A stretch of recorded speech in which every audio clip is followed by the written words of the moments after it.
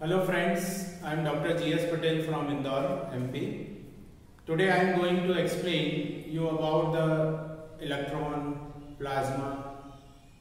We all heard about the electron. Have you seen the electron?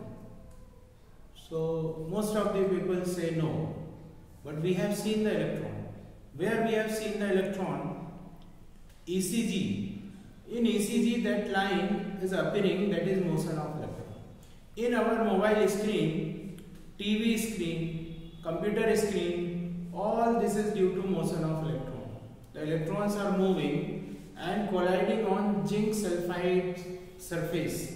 There is a screen having zinc sulfide. So that uh, produce the visibility effect when electrons are colliding. So these electrons we can see. So I am having this plasma bulb.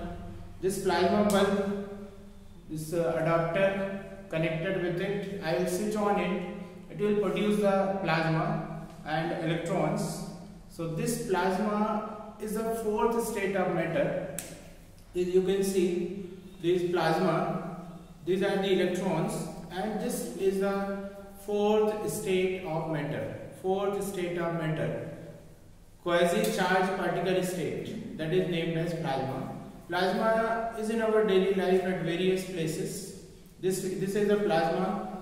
In tube light, there is a plasma, that glowing ionized state, that is a plasma. In LPG, that flame, flame that is a plasma.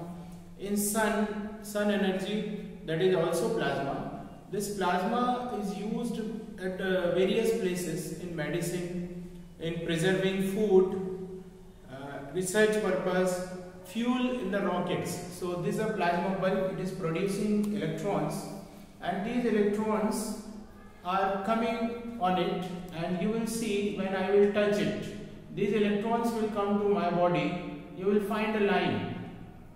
This line, the electrons are coming to my body through this line.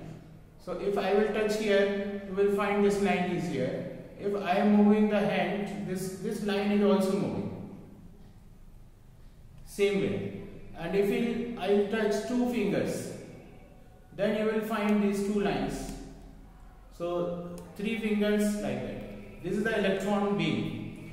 With this electron ionized state in the tube light that is also the plasma.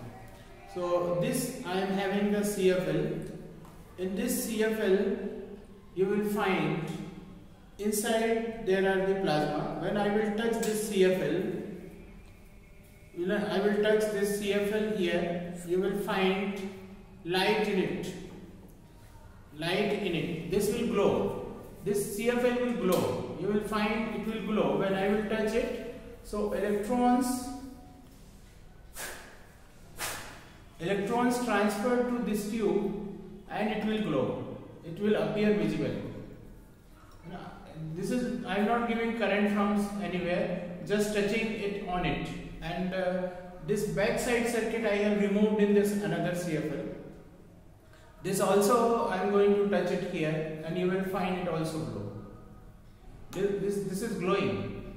So these electrons transfer inside and inside gas ionize and that ionization of gas produce colors, produce light. So this is the plasma effect and uh, one more experiment you will see this is the tube light tube rod and in this tube rod I will touch it here and you will find it will glow.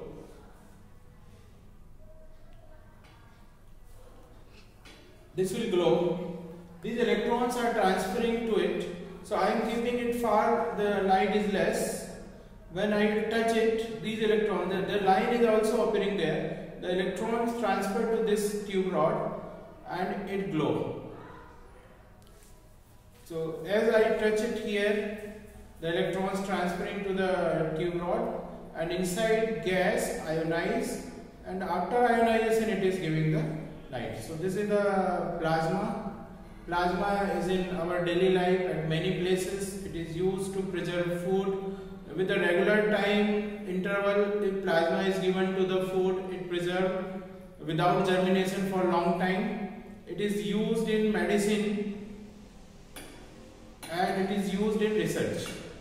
So thank you for watching it.